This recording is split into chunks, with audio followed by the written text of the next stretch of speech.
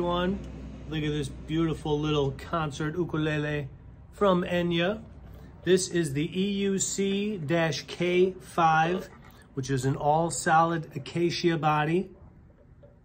Really nice looking wood. It's got this dark binding all around the body. Nice abalone around the body as well as around the sound hole there.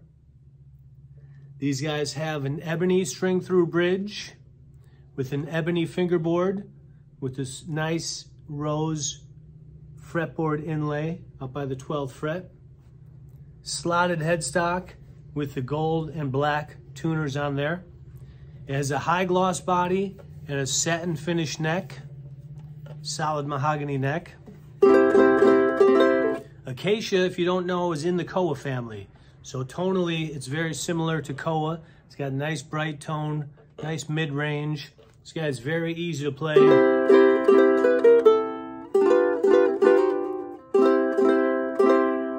Comes with the fluorocarbon high G strings. Also comes with the nicely padded Enya carrying bag. And there you have it. You can find it at AlohaCityUkes.com. Aloha.